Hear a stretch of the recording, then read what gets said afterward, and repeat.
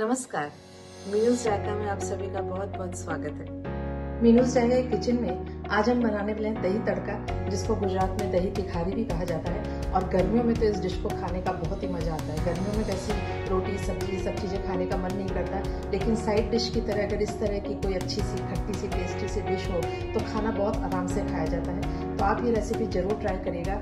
दही तड़का, जिसको लहसुन में तड़का देके हम बनाते हैं बहुत टेस्टी बनता है स्टफ़ पराठों के साथ, दाल रोटी, चावल के साथ सिंपल पराठों के साथ, हर डिश के साथ ये बहुत अच्छा लगता है दही तिखारी। तो आप ज़रूर इसको बनाइएगा। और मेरी रेसिपी आपको पसंद आए तो प्लीज़ इसे लाइक करिए, अपने फ्रेंड्स में, अपने फैमिली में इसको शेयर करिए और मेरे चैनल पे आप नए हैं तो प्लीज़ इसे ज़रूर सब्सक्राइब करिए और घंटी तो ज़रूर दबाइएगा ताकि मेरे आने वाले वीडियोज़ का नोटिफिकेशन आपको मिल सके। दही तड़का जिसको गुजरात में दही तिखारी भी कहा जाता है वो बनाने के लिए मैंने ये पंद्रह बीस लहसुन की कलियाँ लिए और अगर आपको लहसुन का फ्लेवर बहुत ज़्यादा पसंद है तो आप इसकी मात्रा थोड़ी सी बढ़ा भी सकते हैं। और मैंने ये अदरक टूटने वाला लिया और इसके अंदर मैं डाल हूँ लहसुन की कलियाँ।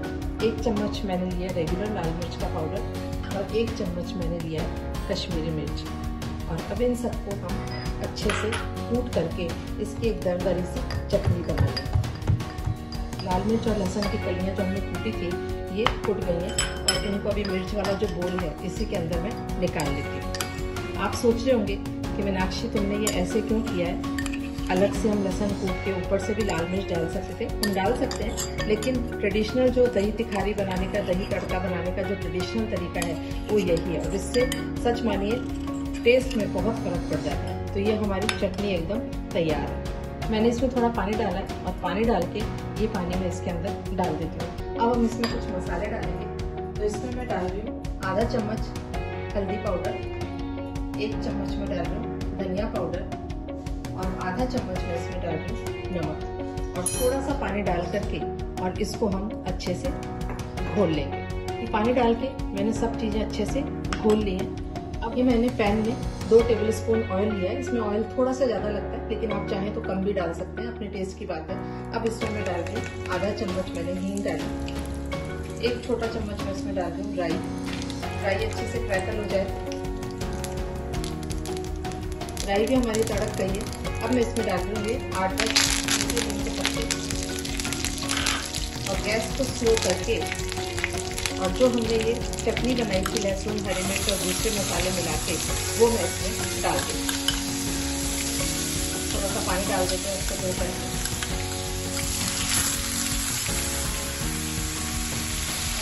अब हमें इसे जब तक पकाना है, जब तक इसका सारा पानी उड़ ना जाए और हमने जो धनिया, हल्दी वगैरह सब डाला है, वो अच्छे से पक जाए, इतनी देर हमें इसको भूनना है।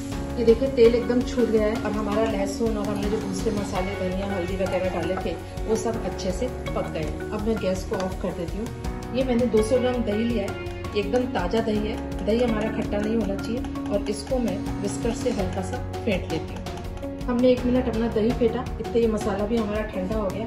और इस बात का आप ध्यान रखिएगा कि जब इस मसाले में हम दही को डालेंगे तो गैस हमारी बंद होनी चाहिए, वरना दही हमारा फट जाएगा और दही तिखारी या दही तड़का हमारा नहीं बन पाएगा। तो ये फेटा हुआ दही मैं इसके अंदर डाल देती हूँ और इसको हल्के से हाथ से हम मिला देते हैं।